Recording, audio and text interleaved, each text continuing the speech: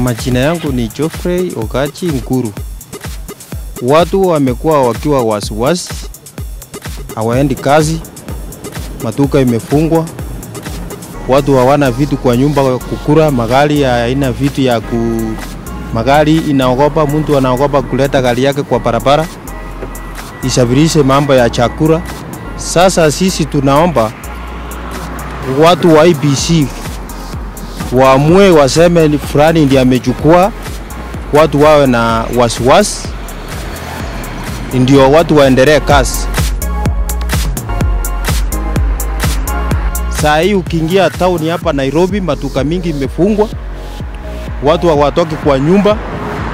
Waamue kitu moja na watuambie hii maneno wanatuambia saa yote saa yote, ati kuna fomu asijapatikana nini, waseme mahali siko sichukuliwe.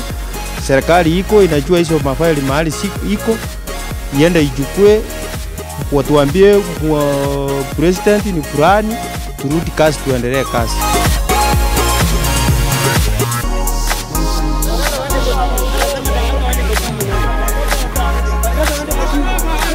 Ile kitu inaleta wasiwasi kwa mwananchi.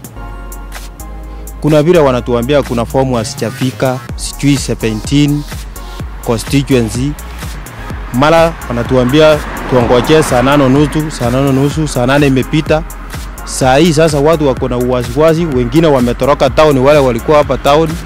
Ukiangalia town, mtu anapita tu mmoja mmoja, anatembea akiwa na wasiwa na wasiwasi eh, waseme mahali hizo mafaili siko, waonyeshe mwananchi, watangaze hata kama ni uhuru, si tutaendelea tu na kazi.